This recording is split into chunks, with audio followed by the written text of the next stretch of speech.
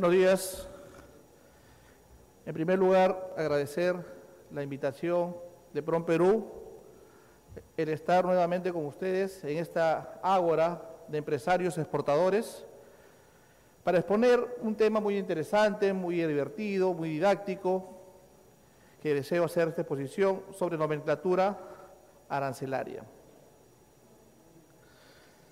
¿Qué es la nomenclatura?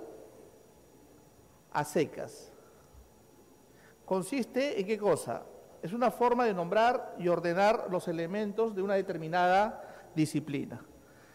Ejemplos. Si a nosotros nos preguntan al caballero, ¿cuánto calza usted de zapato?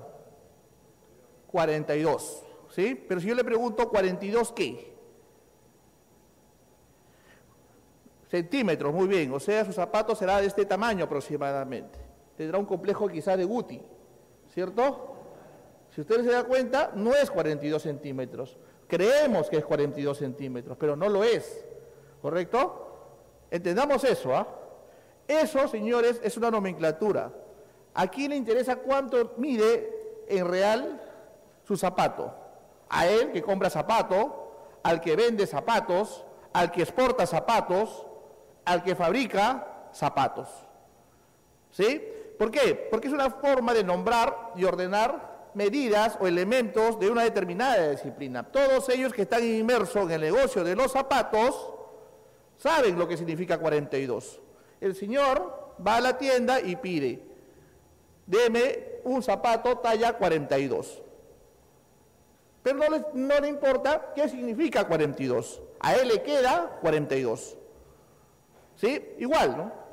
A una señorita le podríamos preguntar, ¿cuál es la talla que tiene de su sostén? Y me va a decir seguro 32, 34, y si está de repente con la tecnología y con los plásticos, 38. Y yo le preguntaré, ¿38 qué? Centímetros. ¿38 qué? 38 BC, pero tampoco sabemos, no podemos definir qué significa 38. Pero ¿a quién le interesa? A los que están inmersos en esa disciplina los que están inmersos en la disciplina de hacer sostenes, exportar sostenes, confeccionar sostenes, importar sostenes. Igual, ¿no? Igual, la talla de los pantalones. Si a la señorita le pregunto cuánto calza o cuánto es la talla de los pantalones, ¿cuánto me dirá usted, señorita? 28 qué? Centímetros, será así, ¿no es cierto? O sea que usted tendrá una cinturita de avispa. No es así, mídase usted y no es 28 centímetros.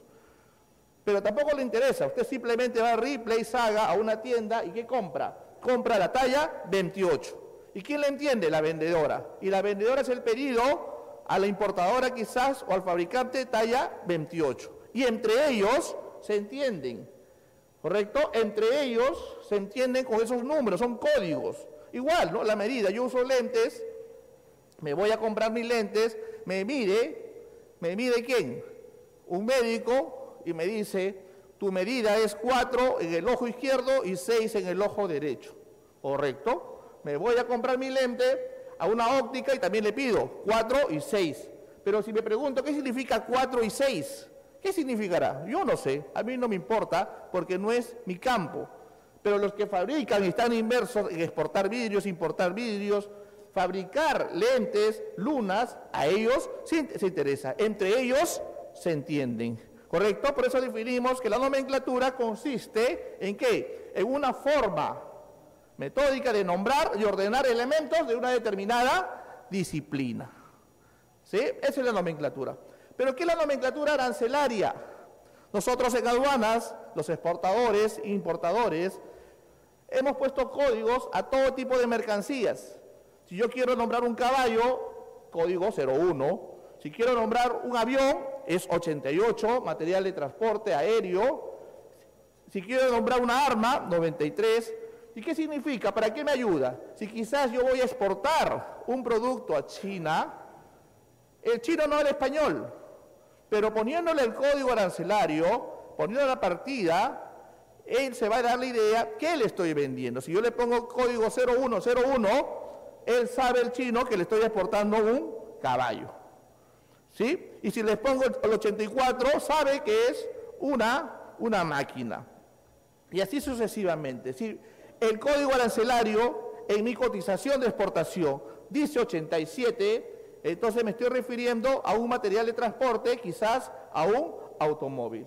Nosotros en aduanas nos entendemos, los que estudiamos aduanas, los exportadores e importadores, nos entendemos por ese tipo de códigos que son la nomenclatura arancelaria. Ahora, la nomenclatura viene del latín, nomenclature, que significa lista, rol, catálogo de nombrar de personas o cosas. Pero la nomenclatura arancelaria va más allá. ¿Qué es? Es la enumeración descriptiva, ordenada y metódica de mercancías, objeto del comercio internacional. ¿Y qué le ponemos? Un código numérico. ¿Cuál es la nomenclatura que usamos, la madre base? Hoy es el sistema armonizado de designación y codificación de mercancías. ¿Qué significa designación? Que primero describimos la mercancía y le colocamos un código arancelario. Le ponemos un código, una partida y una subpartida. Es ordenada y es metódica. Ahora, la eficacia de una nomenclatura radica en que la mercancía solamente tiene un código arancelario, no puede tener dos. Una nomenclatura es eficiente si tiene solo un código arancelario. Imaginemos, si yo voy a, por ejemplo, exportar, a ver, exportar qué cosa, un caballo, y tengo dos partidas, una paga arancel 11 y otra paga 4%. Entonces no habrá la seguridad jurídica. ¿sí? o importamos una máquina. En un lado paga 5 y el otro paga 3. El éxito de una nomenclatura radica en que solo se puede clasificar una mercancía en un código arancelario. ¿Y cuáles son las condiciones para que una nomenclatura sea eficaz? Que sea sencilla, fácil de entender, precisa, objetividad, que sea polivalente, que sirva tanto para fines estadísticos y tanto para cobrar aranceles.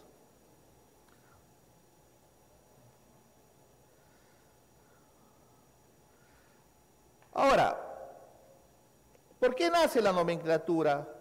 Hay necesidad de establecer tasas, restricciones, prohibiciones al comercio internacional. Y en el arancel, en la nomenclatura, cada país pone qué mercancías, al importarle, le, cobramos impuestos. ¿Qué mercancías están prohibidas? ¿Qué mercancías están restringidas? Eh, al comenzar la exposición, uno de un compañero, un, este, un empresario, me pregunta y me dice, deseo exportar palo, palo santo. Y viene de un árbol de la sangre de grado. Y me pregunta y me dice, ¿podré exportarlo? ¿Puedo exportarlo? Entonces yo lo primero que le dije, primero tenemos, me lo dijo hace 15 minutos, clasificar, está por, creo, levante la mano, ¿quién fue? Ah, usted Gracias. Y el ejemplo del Señor es que primero, para saber si esa mercancía se puede exportar, ¿qué tengo que hacer? Primero tengo que clasificar. Y de acuerdo a eso, analizo si está prohibido o está restringido. Porque si está prohibido, esa mercancía no sale. Pero si está restringido, necesitamos un documento de control para poder, ¿qué? Para poder exportarlo. ¿Sí? Para poder exportarlo. Ahora, la nomenclatura es importante por una sencilla razón, porque es la base para poder realizar operaciones de comercio exterior.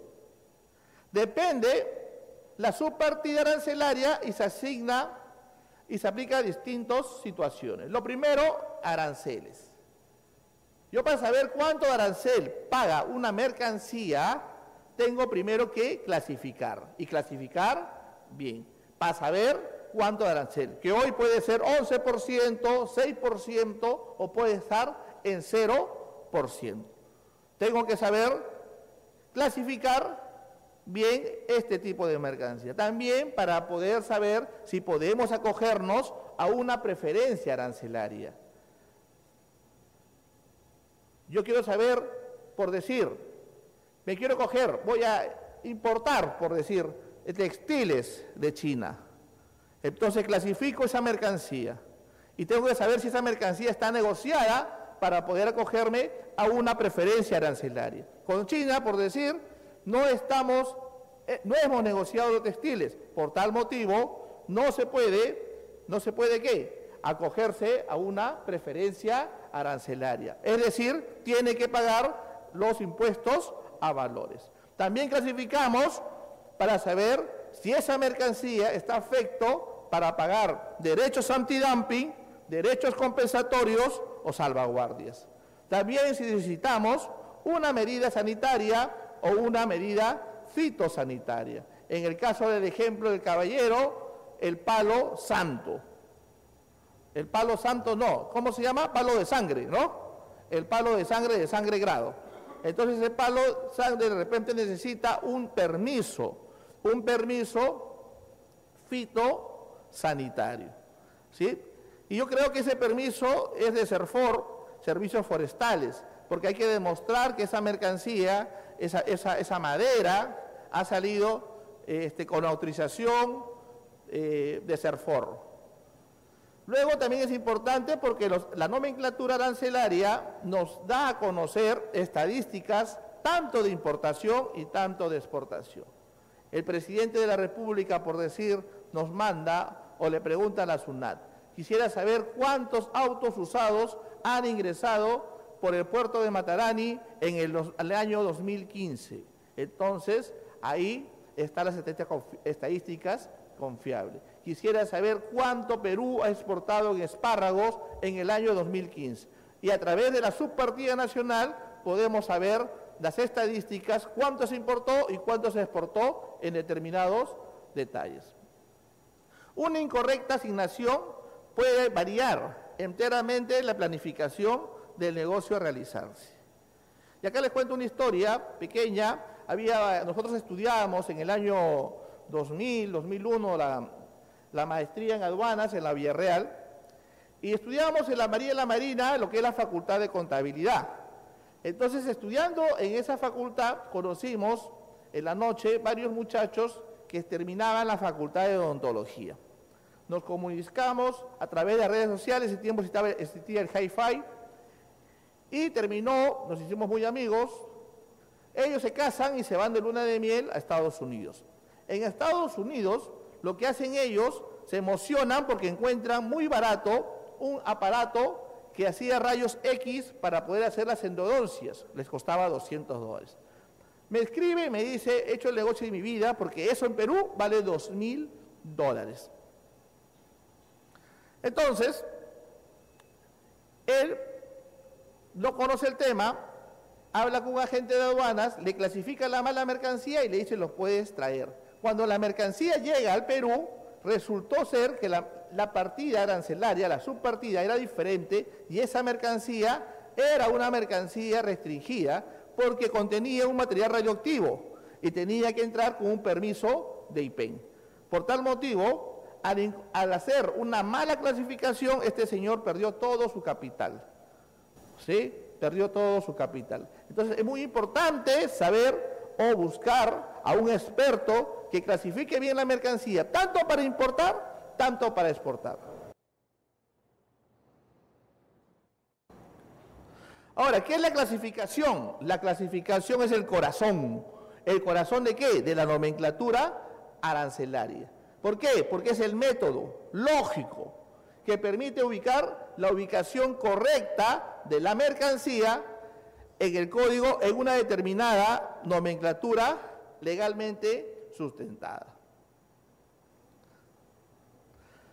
¿Qué necesito yo para poder clasificar una mercancía?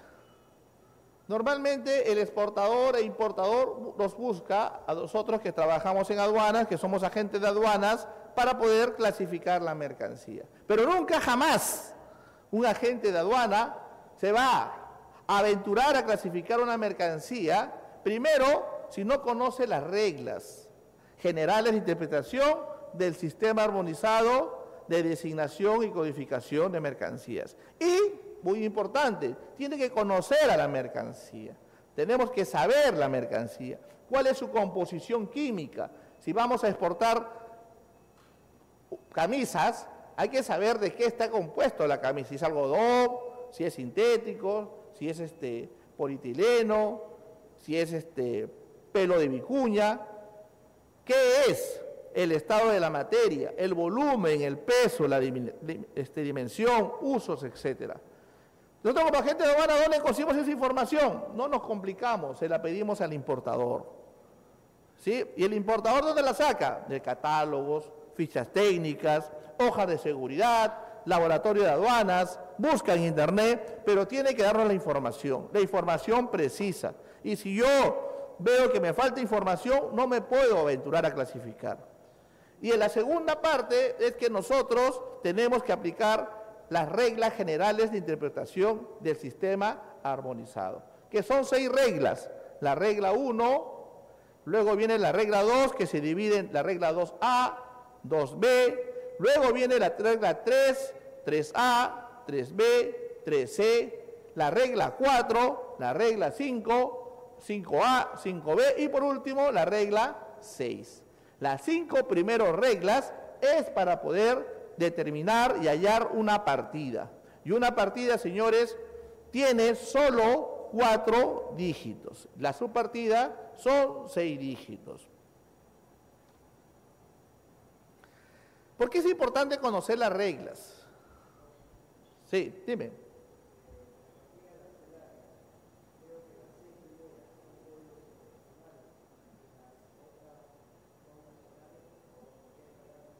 A ver, Sí, sí, cómo no. En la partida, a ver, nosotros, nosotros en la nomenclatura tenemos el sistema armonizado de designación y codificación de mercancías. Y este sistema, ¿quién lo hizo? El Consejo de Cooperación Aduanera, hoy conocido, nombre comercial, OMA, Organización Mundial de la Aduana. ¿Sí? Su sede en Bruselas. Ellos hicieron el sistema armonizado. Entonces, todos los países usamos como base este sistema armonizado. Todos los países. En el mundo, 98% en el mundo. ¿Qué significa esto? De que yo, Perú, tengo cuatro dígitos más. Dos por la comunidad andina y dos como su partida nacional. Pero los seis primeros dígitos son iguales en todo el mundo. Por eso que algunos tratadistas le dicen que es internacional. ¿correcto? Pero es que todos nos hemos copiado de la OMA. Pero la OMA te dice, está bien, yo te doy mi nomenclatura, pero ojo, ¿ah? como condición tú no me puedes modificar mis seis primeros dígitos. Si quieres degrega, si quieres modifica, pero el séptimo, octavo es tu problema, pero los seis no los mueves. ¿Me dejo entender? O sea, le, y es, no te cobran la OMA, te lo da. Entonces Perú lo usa, Chile lo usa, todo el mundo lo usa, pero no podemos modificar los seis primeros dígitos. Así es, la OMA lo ha acordado así y varios, todos los países lo han firmado. No podemos modificar los seis primeros dígitos. Entonces, las reglas generales de interpretación para poder clasificar son muy importantes. ¿Por qué? Imagínense, tuve la suerte hace poco, este, en enero, de estar con eh, los primeros días de enero, estuve con mi familia estuvimos este, unos paseos eh, con mi esposa y con mis hijos en Brasil, estuvimos en Río de Janeiro, en las playas de Copacabana y Panema, y ya no había que hacer, tampoco había plata, lo único que había que hacer era pasar el día, y mi hijo trae pues un ajedrez que le había regalado este, un familiar. Y me pongo a jugar ajedrez con él. Mi hijo me pregunta, siete años, se me dice, ¿cómo se juega? ¿Cuáles son las reglas? Bueno, las reglas son que hay que atrapar el rey. Mi hijo me queda mirando, ve que me descuido, agarra el rey y me dice, ya gané. Entonces, no podía jugar con él porque él no conoce las reglas del ajedrez. Igual, tú nunca vas a poder clasificar si no conoces bien estas reglas que vamos a tratar de desarrollar, si no es ahora, en una próxima oportunidad, todo depende del tiempo que tengamos. ¿Correcto? Pero ya entendamos que son seis reglas para poder clasificar mercancías. O sea, eso le llamamos nomenclatura y, conocer la mercancía le llamamos merciología. ¿Correcto? Por ejemplo, si a mí me piden clasificar papas, ¿qué es una papa? Me piden clasificar una papa y un camote. Tú tienes que conocer, pues, qué es una papa. ¿Una papa qué es? Un tubérculo y un camote. No, un camote es una raíz. Y si no sabes eso, no puedes clasificar. ¿Me entiendes? Un oyuco, ¿qué es? ¿Qué es una yuca? La yuca es una raíz y el oyuco, tubérculo. Una zanahoria, una raíz. Entonces tenemos una técnica, ¿cierto? La experiencia nos es la técnica de, por ejemplo, ¿cómo sabemos si es, si es tubérculo o si es raíz? Fácil. Si es tubérculo, tiene ojitos. ¿Me entiendes? La papa tiene ojitos, tubérculo. El oyuco tiene ojitos, tubérculo. ¿Se da cuenta? Fácil. El camote tiene ojitos, raíz. La yuca tiene ojitos, raíz. Entonces lo clasificamos de esa manera. ¿Cierto? Pero para poder clasificar tenemos que conocer la mercancía. ¿Sí? Ahora tenemos dos clases de nomenclatura.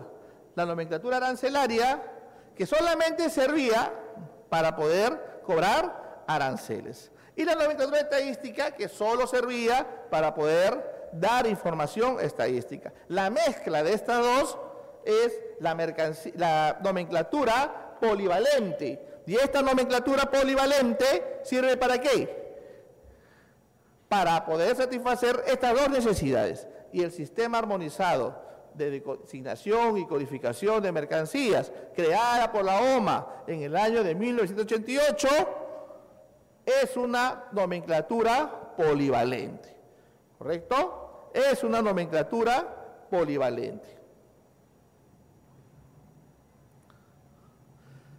Hay unas definiciones que quiero compartir con ustedes porque la nomenclatura está también mencionada en nuestra ley.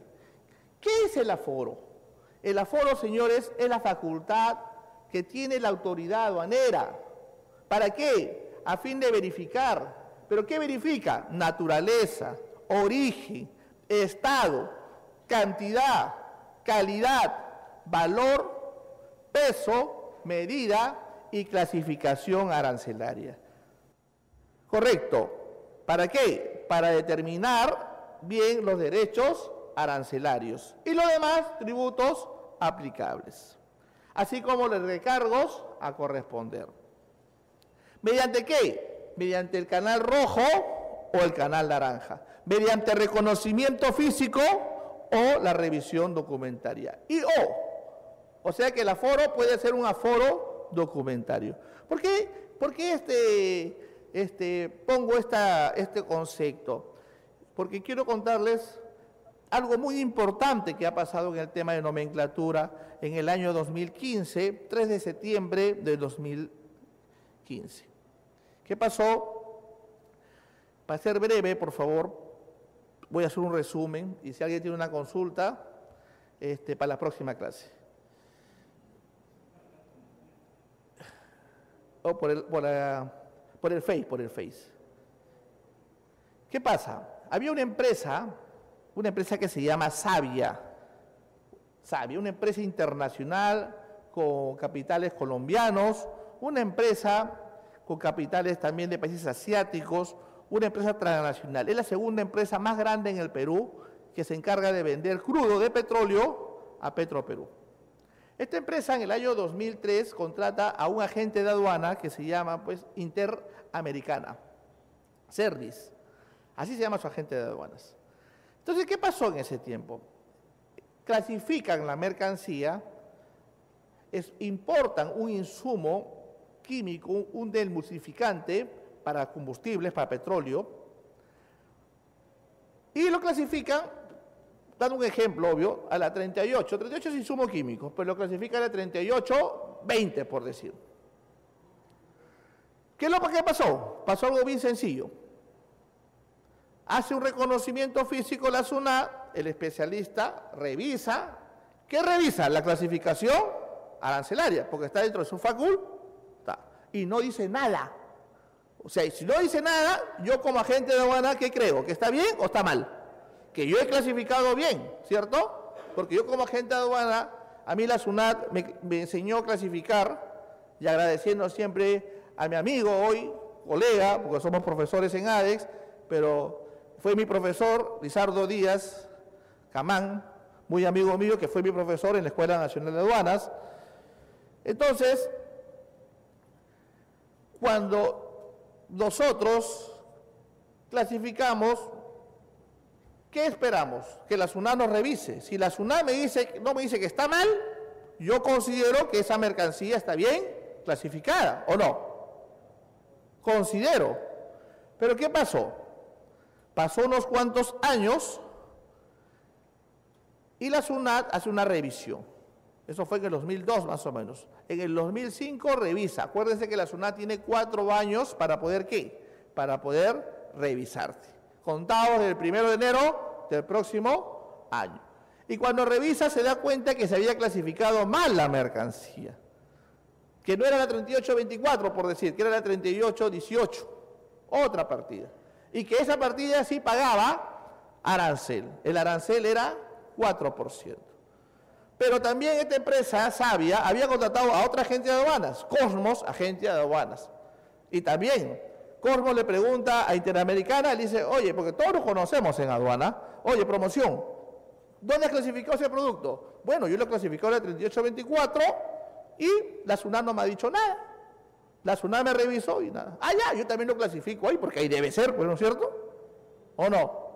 Lo clasificamos ahí y no se pagó el arancel porque el arancel era 0%. Mira lo que pasó, revisa la SUNAT y dice que la partida no era tanto, sino era 38.10 por decir, que el arancel era 4%. Por tal motivo liquida las multas, que son dudas grandes, y sale una multa más o menos de 24 mil dólares.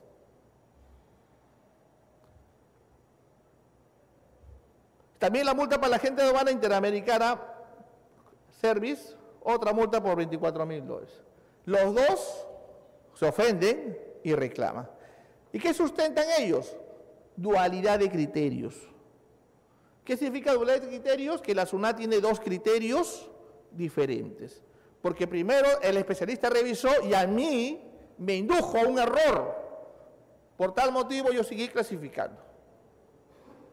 ¿Sí? Entonces,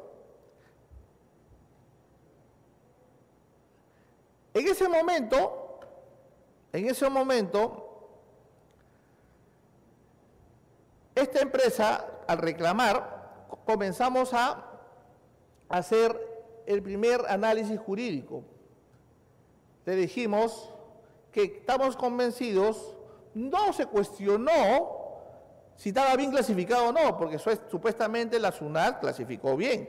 Lo que estábamos alegando es que no podía cobrarnos ni multas ni intereses. Pero ¿qué dijo la SUNAT? La SUNAT se dice que no hubo dualidad de criterios. Y la dualidad de criterios está tipificado en el artículo 170, inciso 2, que dice cuando hay dualidad de criterios. Cuando la SUNAT tiene un criterio y después lo cambia.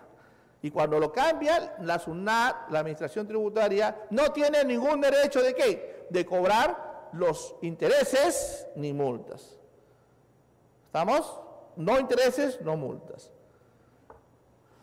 Entonces, la SUNAT se defiende diciendo algo que, que todos los que trabajamos en aduanas más de 15 años sabemos.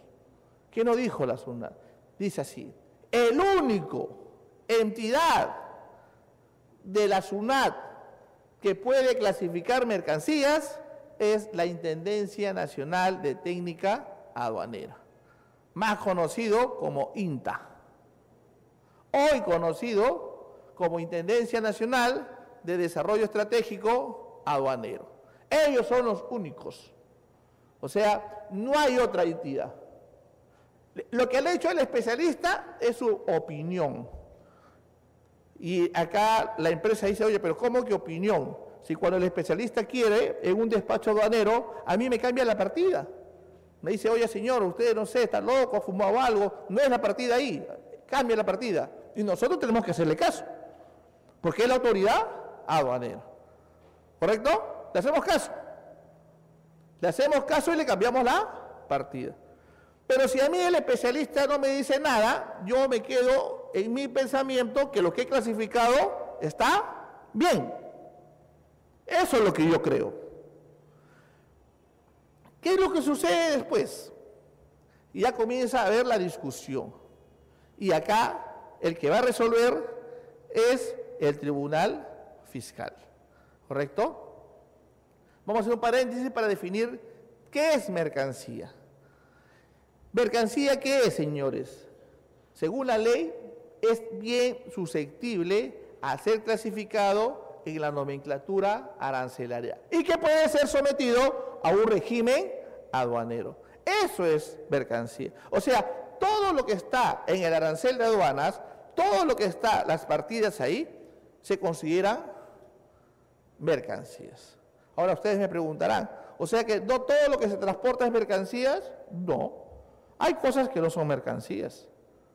Y te doy un ejemplo, los féretros. Los féretros. Sí, los muertitos, ya para que me entiendas. ¿Cierto? Los finaditos. Se transporta, ¿cierto o no? Pero no es mercancía. No vas a someterle a un régimen aduanero. Primero que no lo puedes clasificar. Las personas humanas. Imagínate la señorita. Voy a someter a mi enamorado al régimen de importación. ¿Podrá? Tampoco es mercancía. O sea que no todo lo que se transporta es mercancía. ¿Me dejo entender? ¿Cierto? Entonces hay que tener. O sea, todo crees que todo lo que se transporta es mercancía. No. Para que sea mercancía, tiene que ser clasificado en la nomenclatura arancelaria y ser sometido a un régimen aduanero. Ahora, esta parte es interesante, en el caso de Sabia, dice el artículo 149 de que si hay una resolución de clasificación, ¿qué significa resolución de clasificación? Un RIN.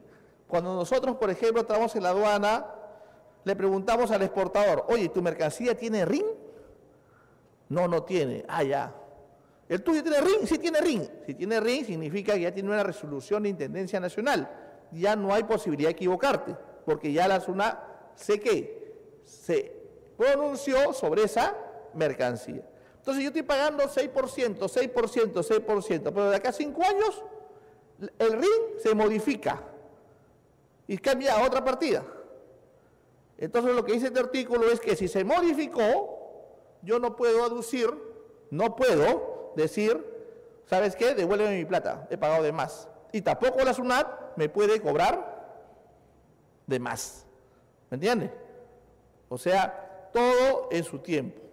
Si la SUNAT tuvo un criterio en tal fecha, supongamos en el 2007 decía que los caballos se clasificaban en la 0102 y luego cambió en el 2010 y dice que los caballos se clasifican en el 00101, yo tengo todo el derecho de decirle a la SUNAT que no me puede cobrar tributos diferenciales. Y tampoco le puedo pedir a la SUNAT que me devuelva los tributos que he pagado de más.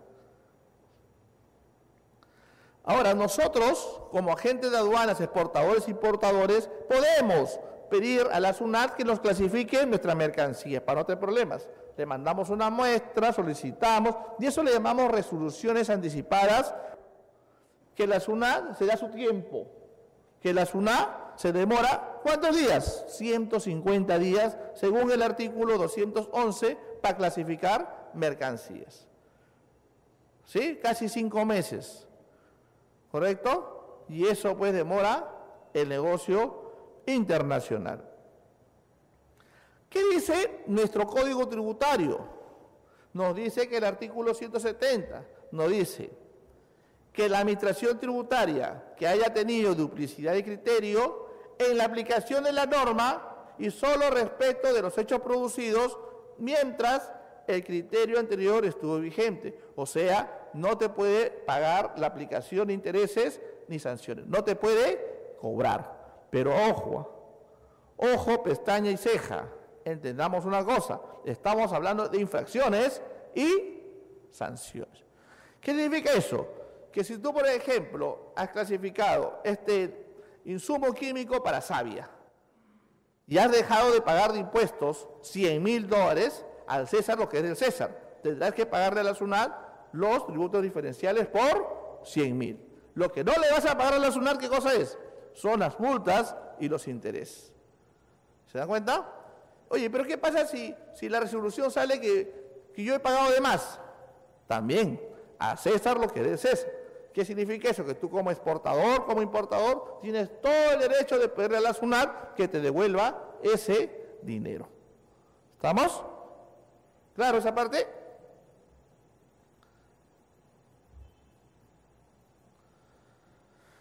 Entonces, volviendo al caso de Sabia, muy interesante ese caso de esta empresa.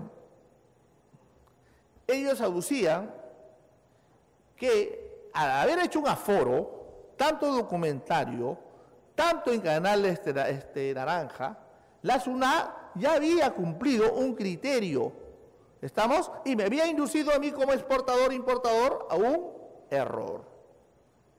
Esa era la posición de quién?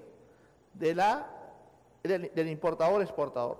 Pero la SUNA tenía otro criterio, decía, no, el especialista de aduana es un tramitador es un mero revisor, su función es facilitar el comercio exterior, pero ellos no pueden dar un criterio de clasificación, porque según el reglamento de organizaciones, funciones de la SUNAT, el único que puede dar ese acto administrativo, el único que puede decir dónde se clasifica una mercancía, ¿quién es? La Intendencia Nacional de Técnica Aduanera.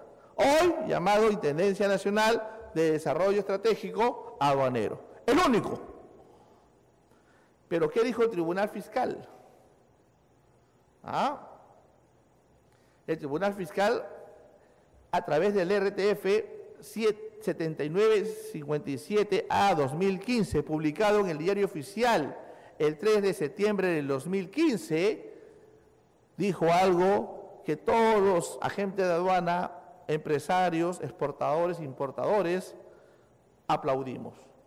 Y dijo que la partida arancelaria declarada, cuando se somete a revisión física documentaria, ya la SUNAT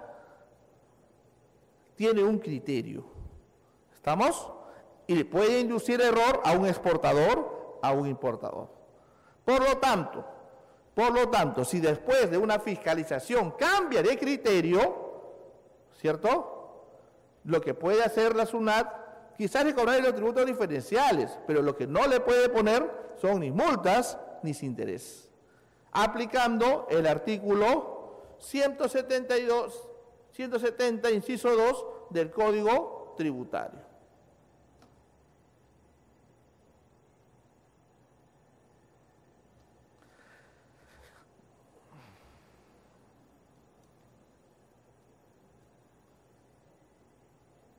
El segundo punto de esta resolución de observancia obligatoria, que según el Código Tributario, el Tribunal Fiscal puede, ellos pueden emitir jurisprudencia de observancia obligatoria cumpliendo los requisitos de publicarlo en el diario peruano para que los administrados, la SUNAT, los cumplan.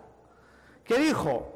También dijo lo mismo, que la Intendencia Nacional de Técnica Aduanera, hoy Intendencia Nacional de Desarrollo Estratégico Aduanero, sobre clasificación arancelaria, constituye una forma de los cuales la Administración Aduanera establece criterios. Una, pero no es la única. ¿Ah?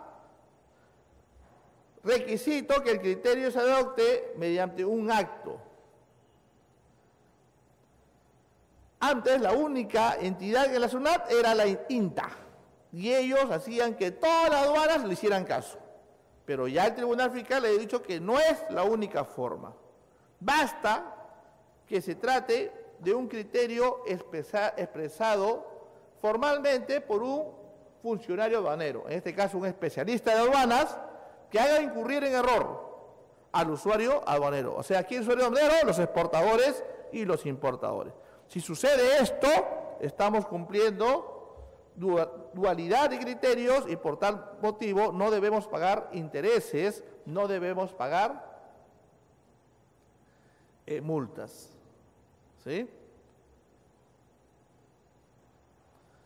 ¿Cómo clasificamos mercancías? Primero, buscamos la sección. ¿Y la sección que es? Los números romanos. Segundo, capítulo. Y los capítulos son de números arábigos.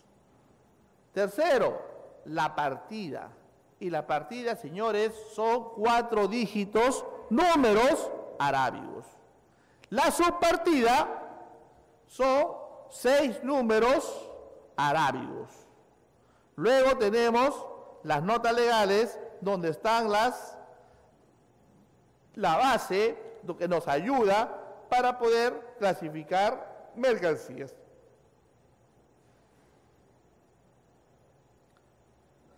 Ejemplo, en el caso de, de savia, inhibidor de parafina, la clasificamos en la 38 11 90 00. Los dos primeros dígitos es el capítulo, ¿correcto? Los dos primeros dígitos son los capítulos. Los cuatro primeros dígitos se llama partida. Y los seis primeros dígitos le llamamos subpartidas.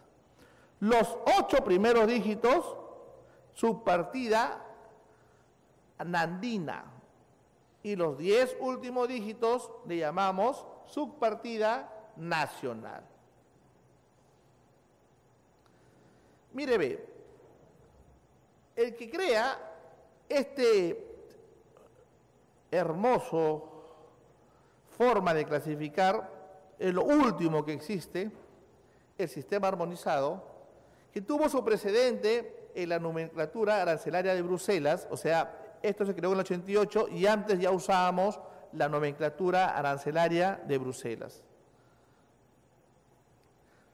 Cuando ellos lo hacen, crea los seis primeros dígitos.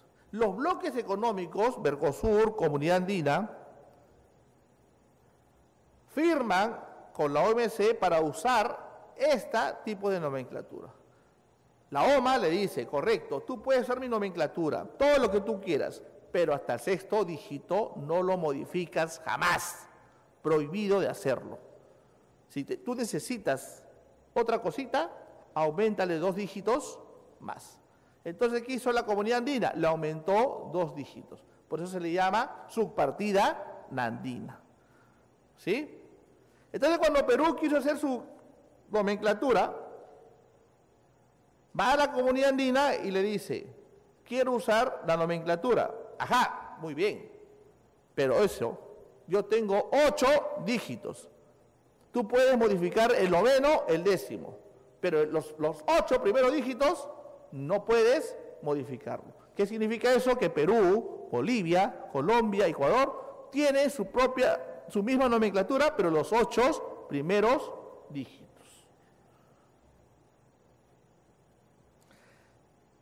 Entonces, los primeros seis dígitos de la clasificación deben ser idénticos para todos los países miembros de la OMA.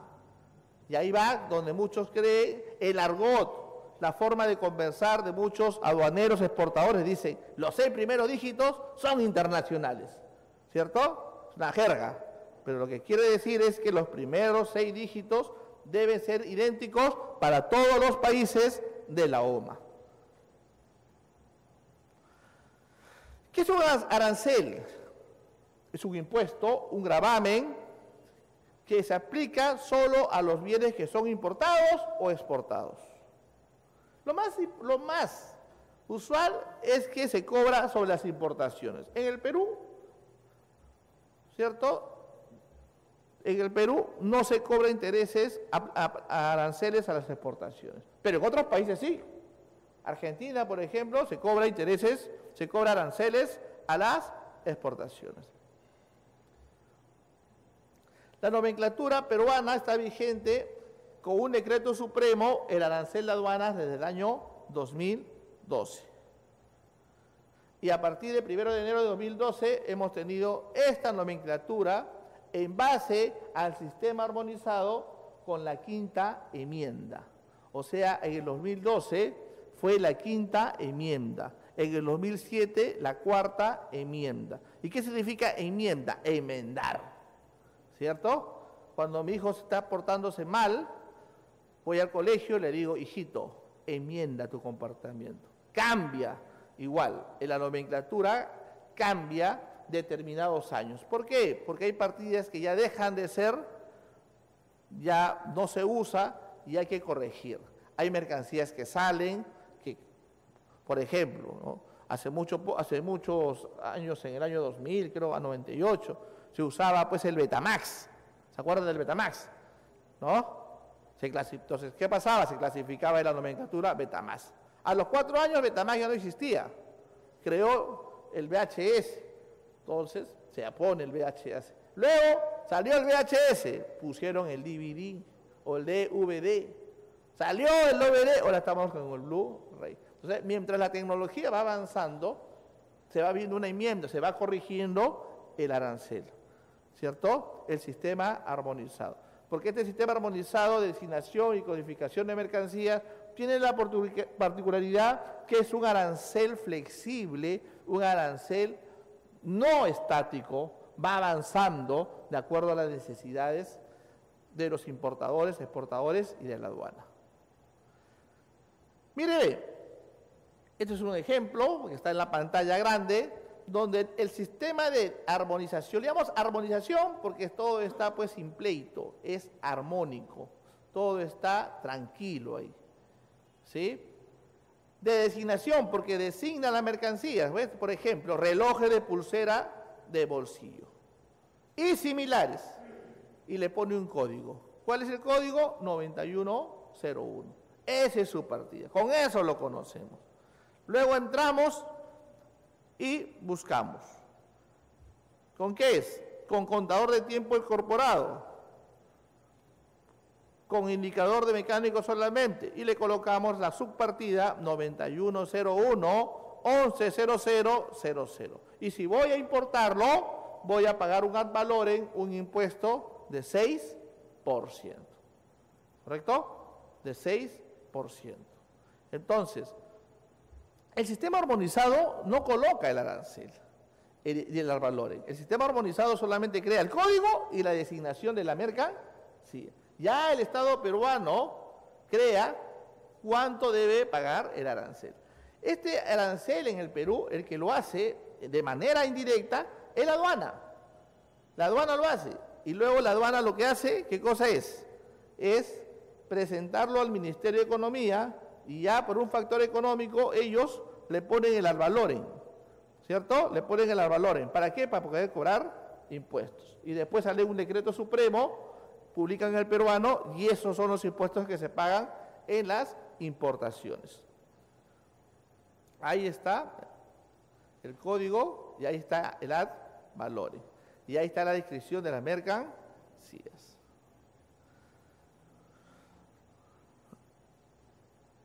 Por ejemplo, miren este ejemplo. ¿Para qué me sirve este clasificación? Yo le pongo lo que hemos clasificado acá, el reloj, le pongo el código arancelario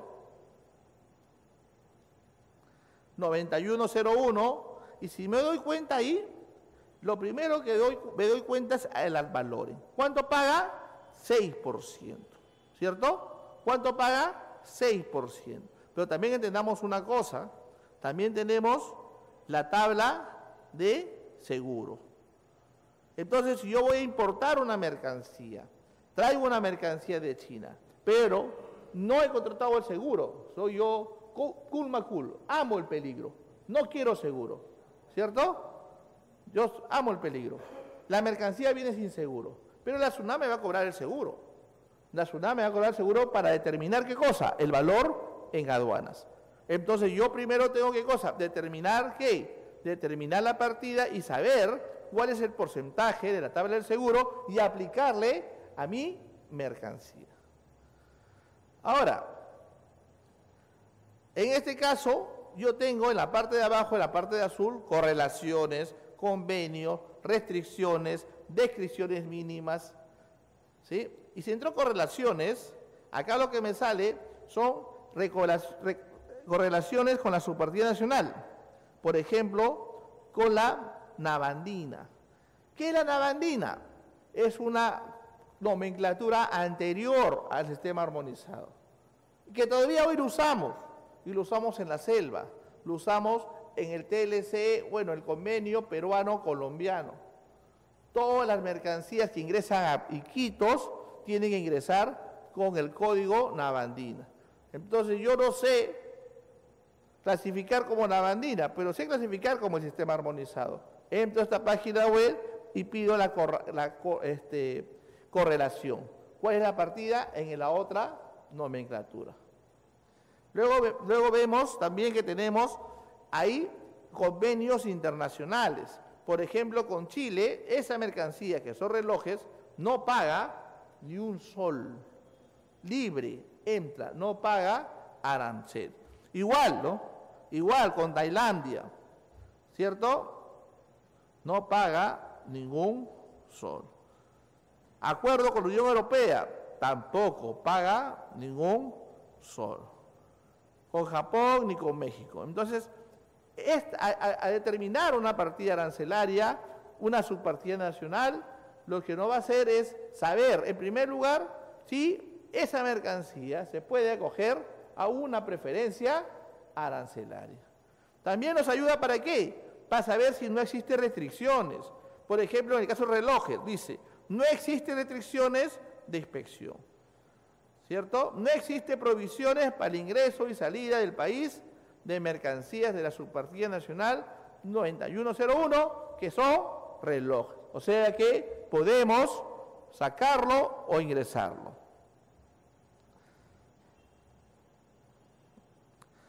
Este es el ejemplo que les conté del dentista. Mi amigo dentista me dijo que le habían clasificado su mercancía como mobiliarios y que según él podía ingresar. Yo hice el análisis y le dije, bueno, tu partida es tanto.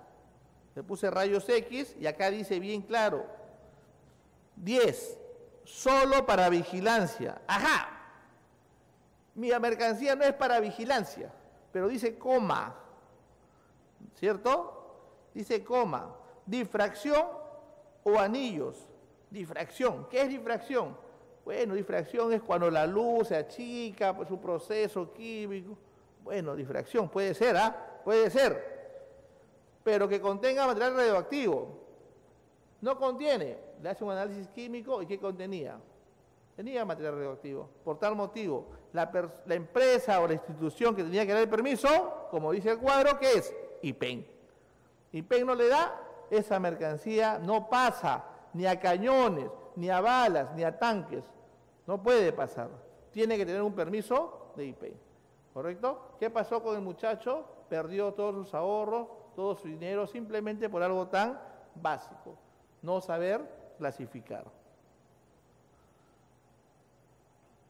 Luego tenemos las descripciones mínimas. Cada partida tiene descripciones mínimas. Y eso sí ya nos sirve a nosotros que somos agentes de aduana. ¿Por qué? porque cada vez que enumeramos una DAN, tenemos que poner estas descripciones mínimas. En este caso, poner el nombre del producto, marca, poner su principio de funcionamiento, si es eléctrico, automático, etcétera. Material, de qué está compuesto. El sistema armonizado de designación y de codificación de mercancías, quinta edición, quinta enmienda, en el 2012, lo usan, señores, el 98.9% de los países en el mundo. ¿Cuál no lo usa? ¿Qué país no lo usa? Sierra Leona, Madagascar, ¿ah? Nepal, algunos países muy, pero muy subdesarrollados. El resto de los países usa este sistema armonizado. Luego encontré, me acuerdo, un país en Europa que tampoco usa el sistema armonizado, usa la nomenclatura del sistema CUSI, que me querían enseñarlo y dije, mejor no me enseñes eso porque me vas a confundir. ¿Cierto? Porque solamente ese país lo aplica. ¿Para qué aprenderlo? ¿Cómo es la estructura del sistema armonizado? Como ustedes ven en el gráfico, la estructura es un sistema ve una pirámide, donde en primer lugar arriba están las secciones. Ahí tenemos las secciones. ¿Cuántas secciones tenemos? 21 secciones. ¿Y qué son las secciones? Agrupan categorías de mercancía. Por ejemplo, plásticos y caucho. ¿Sí? Animales vivos. Sección 1, animales vivos. Sección 20, mercancías diversas. Sección 21, antigüedades. Sección 11, textiles. Agrupa varias mercancías. Luego tenemos los capítulos. Ya los capítulos se desgregan, o sea que una sección tiene varios capítulos. ¿sí? Por ejemplo, de la sección 1 a la sección 5 hablamos de los reinos de naturaleza. Sección 1, todo lo que son reino animal. Sección 2, todo lo que son reino vegetal. Sección 5, todo lo que es reino mineral. Entonces estos capítulos desgregan a las secciones. Los capítulos desgregan a las secciones. Y tenemos notas legales de sección y tenemos notas legales de capítulos. Y estos capítulos, a su vez, se desgregan en partidas. Y estas partidas, estas partidas no tienen notas legales. En cambio, las subpartidas sí tienen notas legales. Y las notas legales nos ayudan a poder clasificar mercancías. Tenemos notas legales definitorias, notas legales ampliatorias, notas legales excluyentes, notas legales incluyentes. ¿Cierto? ¿Y aquí le llamamos notas legales excluyentes? Te saca, te saca. ¿Cierto? Por ejemplo, quieres clasificar, por decir, bicicleta para niños, lo pones en la 87. Y ahí hay una partida, una nota legal que te dijera, aquí no se clasifican las bicicletas para niños. Entonces esa nota legal te saca de ahí. Y cuando te lo sacas, ¿cómo te pones? Triste. Pero también esa nota legal te lo mete. ¿Te lo mete a dónde? A otro capítulo. Y ahí cuando te lo mete, ¿cómo te pones? Contento. ¿Cierto? Te emocionas. Estos capítulos están divididos en 1224 partidas.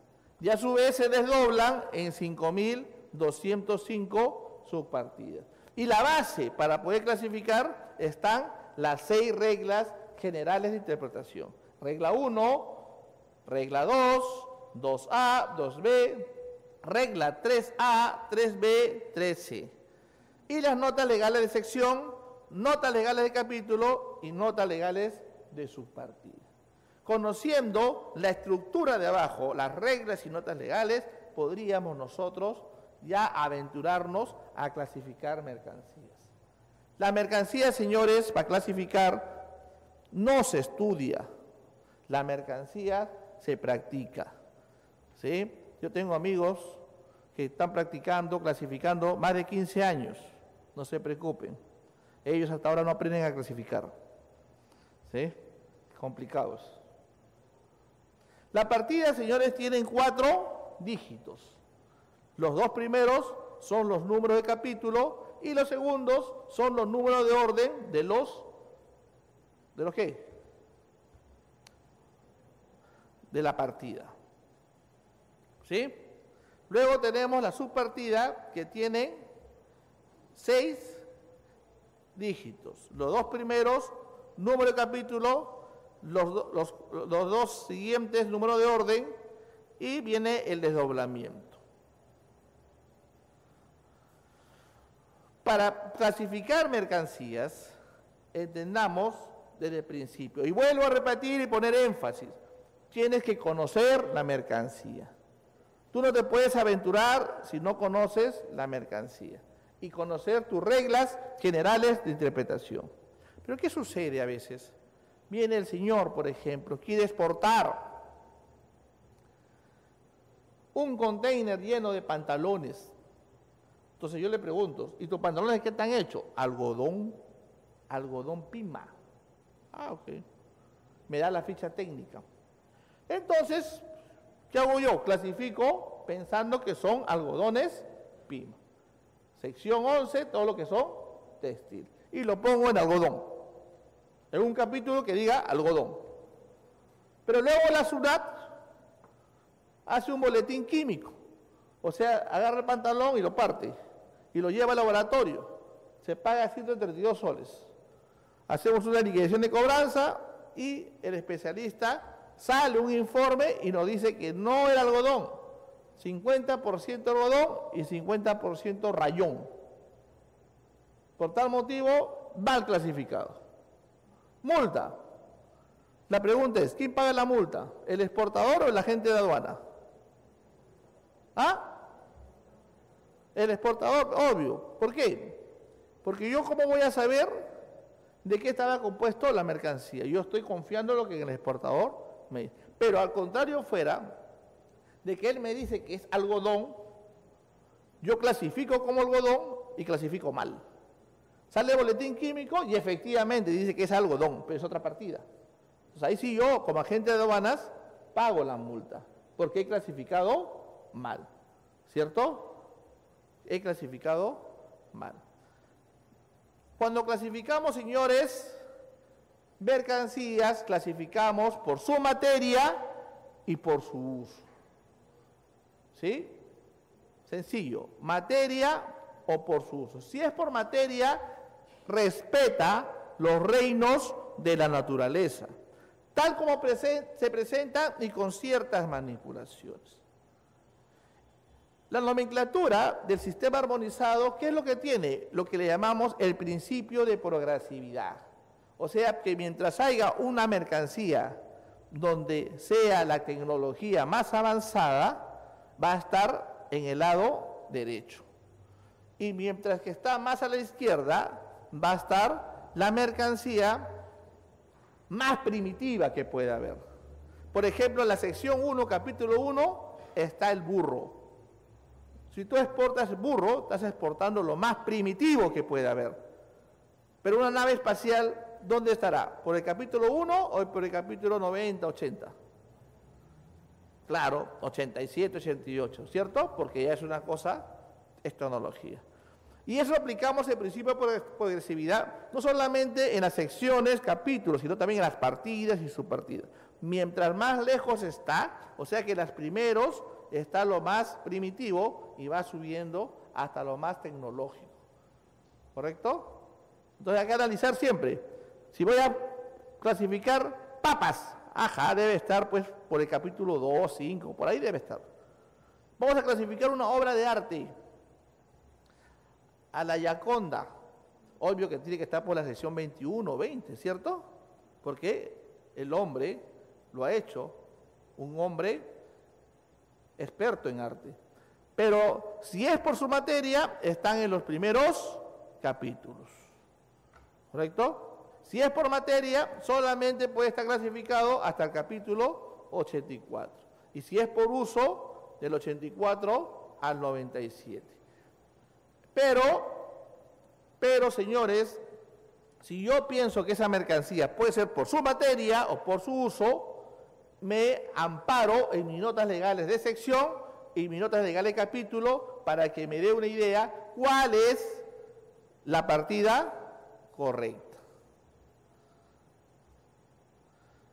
El sistema armonizado de designación y codificación de mercancías. Hemos dicho, designados porque describe la mercancía y codificación, ¿por qué? Porque le pone un código arábigo a las mercancías y es un código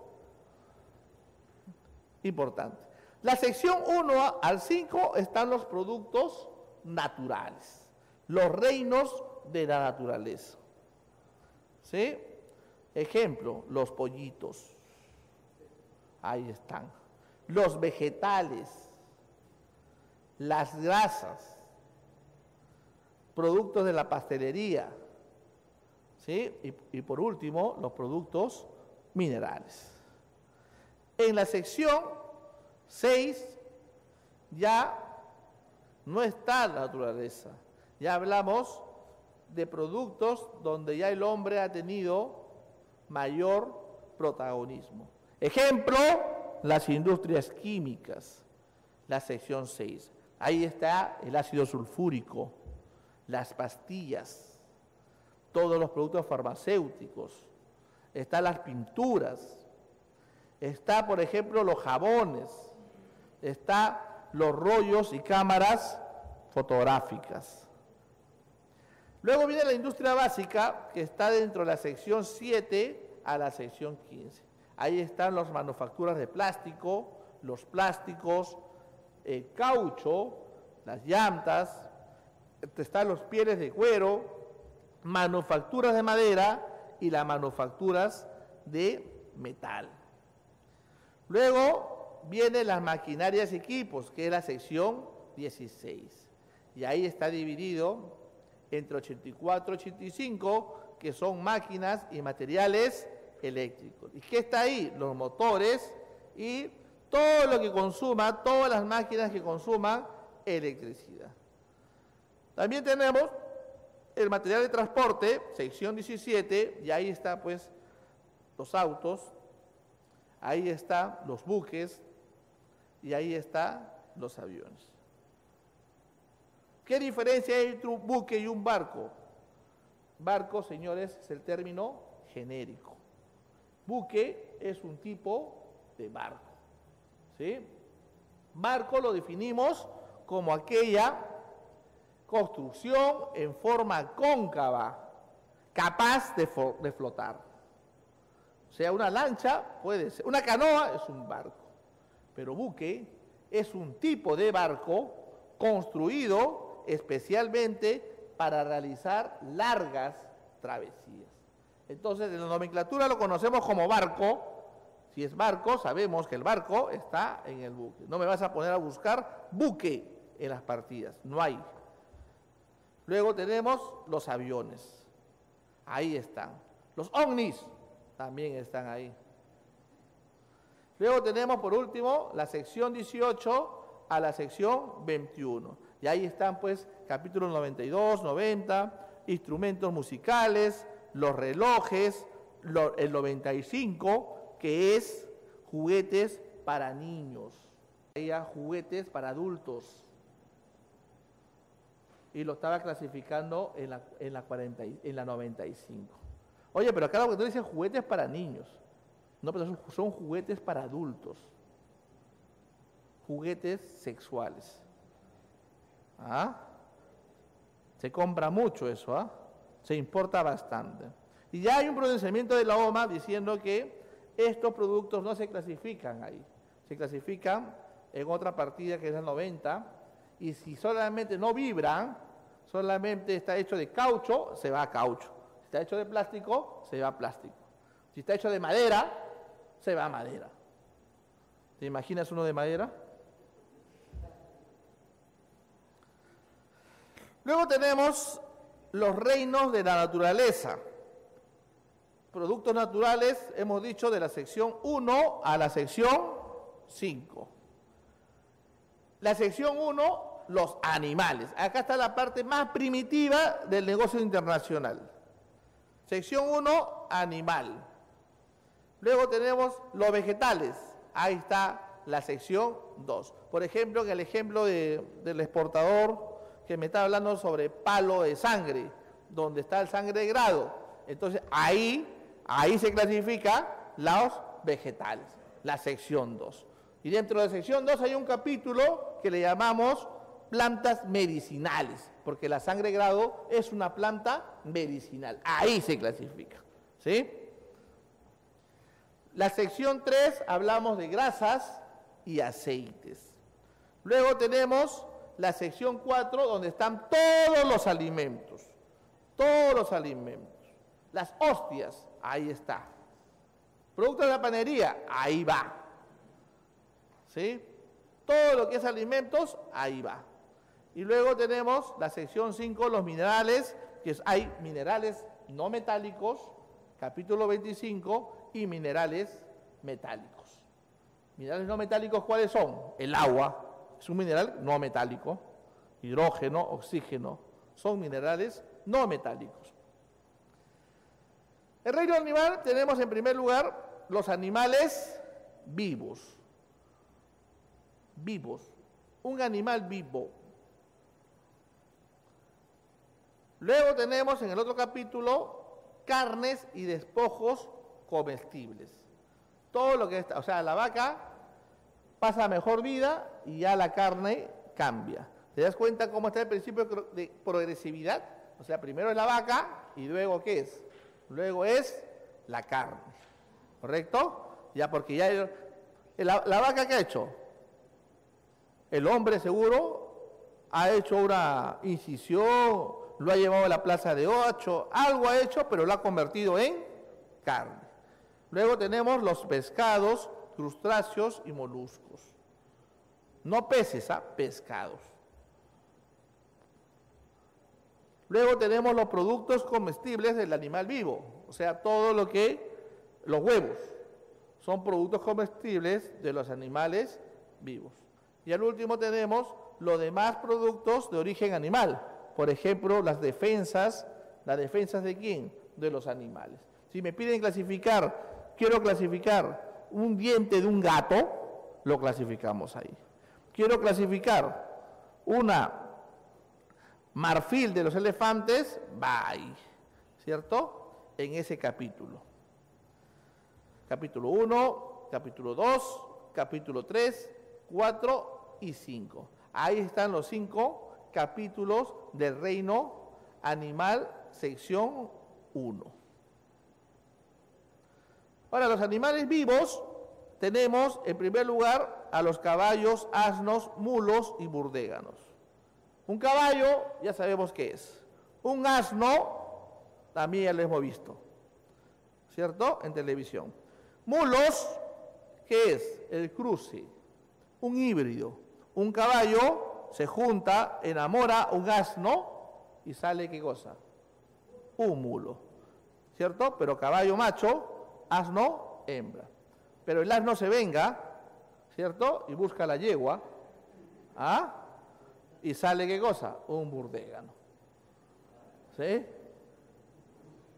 ¿Estamos? O sea que si el caballo enamora al asno, sale un mulo. Pero se da cuenta el hermano y busca a la yegua y sale un burdégano. Luego tenemos los animales de especies bovinas, ¿sí? las vacas, de las especies porcinas, no me miren, de las especies caprinas y ovinas. Luego tenemos las aves domésticas, ¿sí? y los demás animales. Ahí está el 1, 2, 3, 4, 5 y 6. El código que nosotros le ponemos. 0101, caballos. 0102, animales de la especie bovina. Las vacas, los toros, búfalos. Ahí van, ahí se clasifica. 0102. De la especie porcina, porqui y toda la gente. Ahí va. Caprina, las ovejas. Aves domésticas, ¿quién está ahí? Las gallinas, los patos, los pavos. Ahí van, aves domésticas. Y los demás animales, los que no están comprendidos, ahí está el buzón, el residual, ahí se colocan. ¿Cierto? Ahí están. Luego tenemos, en los demás animales, tenemos los mamíferos. Primero tenemos los mamíferos, se divide en primates. Su partida nacional de primate 01, 06, 11. Luego, las ballenas y delfines y los demás. Los mamíferos reptiles 01, 06, 20. Aves, aves de rapiña, aves citasiformes y los demás. Rapiña, ¿qué es un ave de rapiña? un águila. Por ejemplo, y eso, es el problema, se la nomenclatura, había un, este, un jojilote, un gallinazo.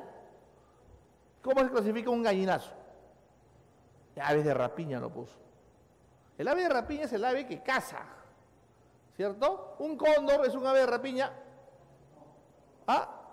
No, el cóndor es un animal que espera que se muera, es un carroñero. El, el de rapiña es que caza un águila.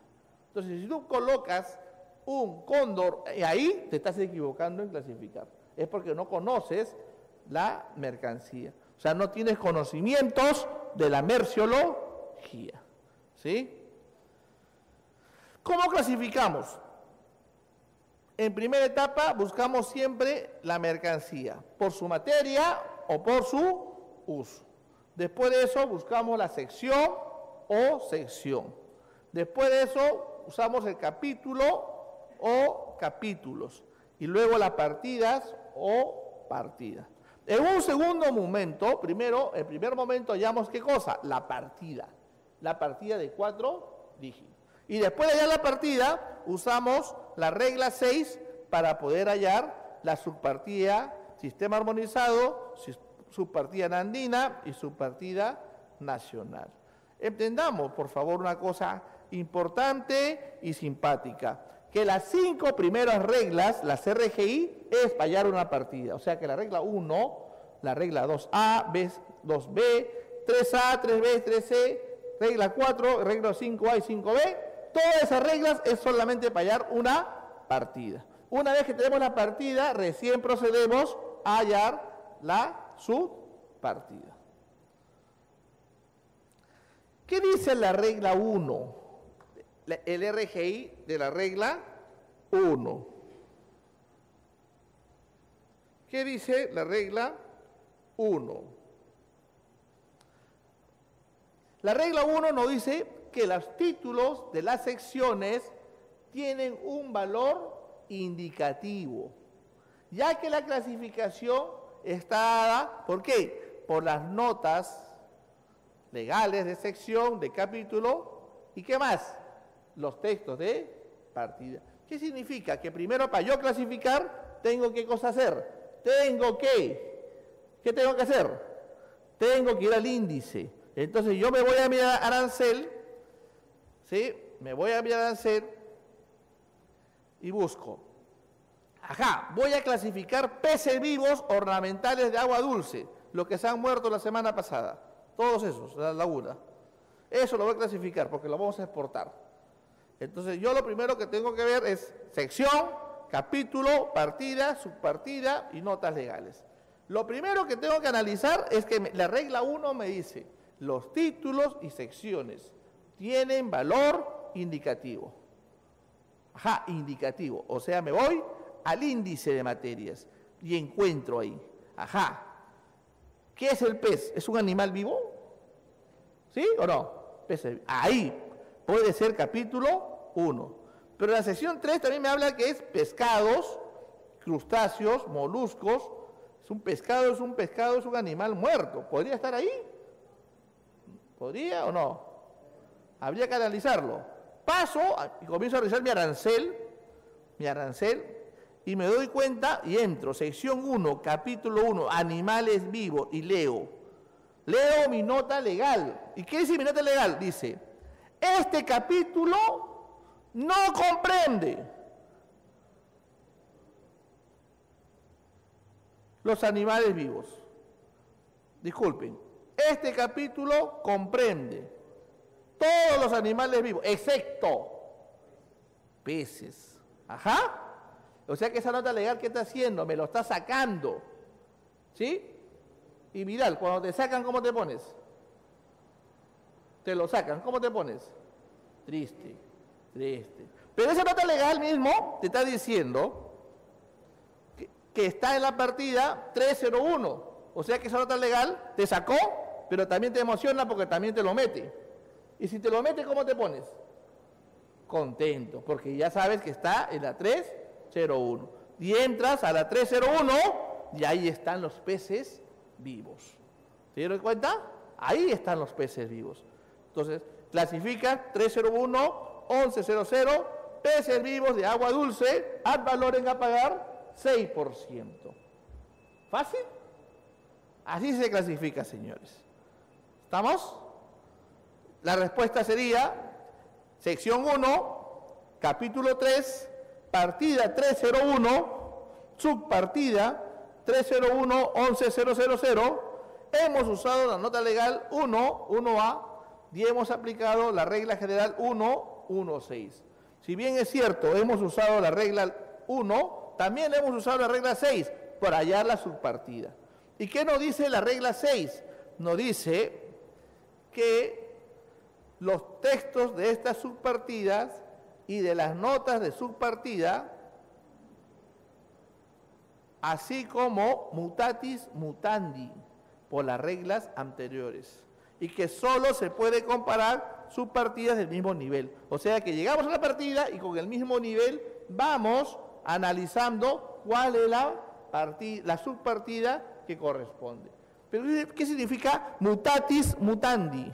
Mutatis mutandi significa de que vas a aplicar la analogía y vas a tener que cambiar lo que tengas que cambiar, cómo clasificaste las partidas. De la misma forma que las partidas, usas esas reglas para hallar las subpartidas. Mutatis mutandi. Luego os traigo un segundo caso, la regla 2.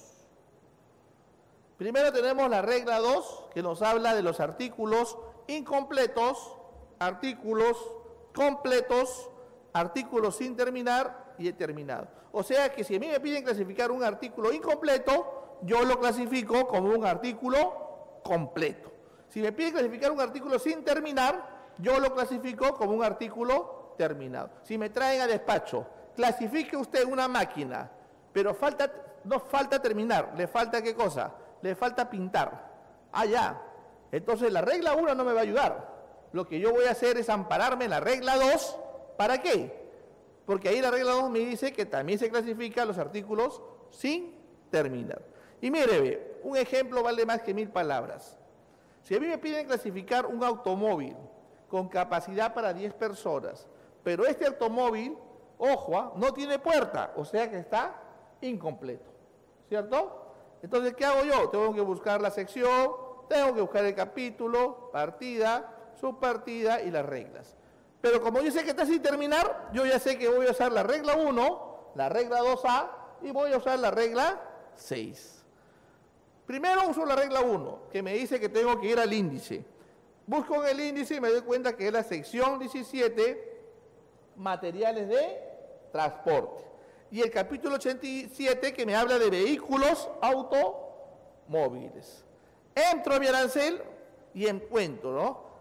En la 8702, vehículos automóviles para transporte de 10 a más personas. A mí me piden 10 personas. Acá está la respuesta. Entro ahora a las subpartidas y aplicando el mismo nivel, me doy cuenta que la respuesta es para el transporte de mercancías de 10 personas, como máximo, incluido el conductor. ¿Cuánto voy a pagar a hacer? Cero. Entonces, ¿qué he aplicado yo? He aplicado la regla 2A. He clasificado la sección 17, capítulo 87, partida 8702 y subpartida 8702 10.90.00. Texto de partida, regla 1, 2A y 6. ¿Sí? Aplicando la regla 2A. Luego tengo la regla 2B. ¿Qué significa la regla 2B? Primero, que hay que tener una materia que indiscutiblemente es dominante. Por ejemplo, si me piden clasificar una leche evaporada, ideal, pero tiene hierro y ácido fólico, vitaminas. Entonces, en ninguna parte de la regla 1 me va a decir, acá se clasifica vitaminas con leche. Entonces, ¿qué hago yo? Obvio ese ácido fólico y lo clasifico como si fuera leche evaporada. Pero ya estoy aplicando la regla 2B. Ingreso a mi, a mi índice, aplicaron la regla 1 y busco. Sección 1, animales vivos y productos de reino animal. Y en el capítulo 4 encuentro leche y productos lácteos. Ahí está mi producto. Entro el 4,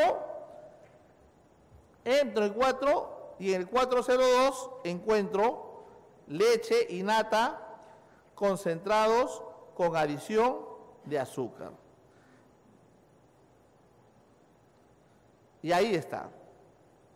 Leche evaporada. 0402 91 10. Leche evaporada. Entonces, ¿qué he hecho yo para clasificar? He usado la regla 1, la regla 2B y la regla 6. ¿Correcto? Entonces, la regla 2B sirve cuando hay mercancía, hay mercancía asociadas. Es como, por ejemplo, eh, en la semana pasada nos llegó a clasificar una exportación de unas, de unas agendas de cuero, pero tenía esquineros, esquineros de metal. Entonces nosotros no nos complicamos, lo clasificamos como si fuera una agenda nada más. Y esos esquineros aplicamos la regla 2A, ¿cierto?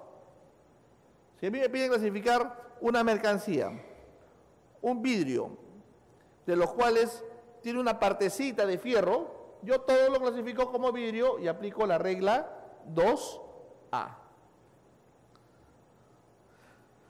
Luego tenemos la regla 3. Ahí nos habla de la partida más específica, el carácter esencial y la última por partida de orden de numeración. ¿Qué significa la partida más específica? Si yo tengo dos posibles partidas, por ejemplo, voy a clasificar tenedores, y tengo la 8215, que su texto de partida dice cucharas y tenedores.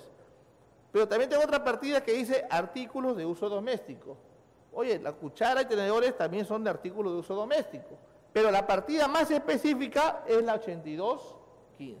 Por tal motivo, la clasificación se da por la partida 8215. Luego tenemos esta regla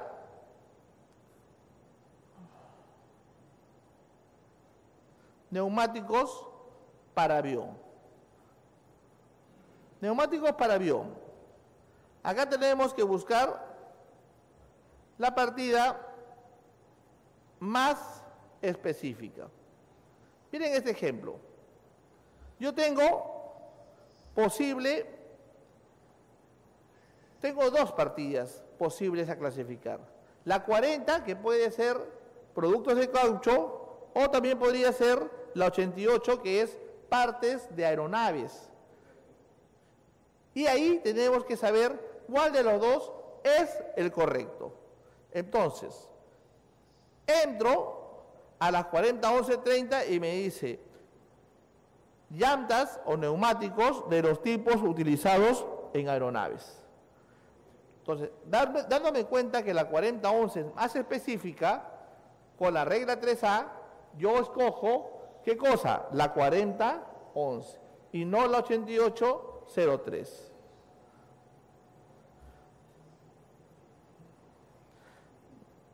Esta regla 3B se usa para productos mezclados.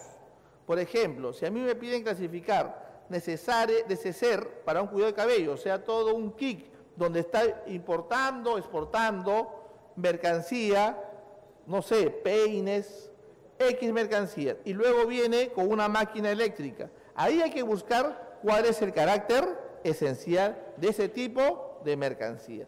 ¿Y cuál es el que vale más? La máquina eléctrica. Y todo ese neceser se clasifica como máquina eléctrica. ¿Estamos? O sea, siempre tienes que buscar cuál es el carácter esencial de lo que se va a este, eh, exportar. Muy bien, luego tenemos la regla 13. 13 es una regla de escape, no nos complicamos, usamos el mayor. Si yo tengo dos posibles partidas, por ejemplo, tengo un, un ventilador y tengo una lámpara. No sé, ¿será ventilador? ¿Será rampa? Y en ese momento no me complico clasifico con la más alto. Si la partida es 9405, para mí es la respuesta 9405. Luego tenemos la regla 4, que es de la analogía. Si a mí me piden clasificar un ovni, tengo que clasificarlo algo que se parezca a un ovni en el Perú o en el mundo. ¿Y qué se parece a un? Es una nave espacial. Por tal motivo lo clasifico como una nave espacial, 8802. La regla 5 nos dice que son estuches de cámaras fotográficas y ahí van. Todo lo que son estuches se clasifica con la regla 5A. Y la regla 5B es para estuche, no estuche ya, sino ya envases. Por ejemplo, el oxígeno lo clasifico como la regla 5B. Muchas gracias. Ese es el tema de hoy día. Si alguna pregunta.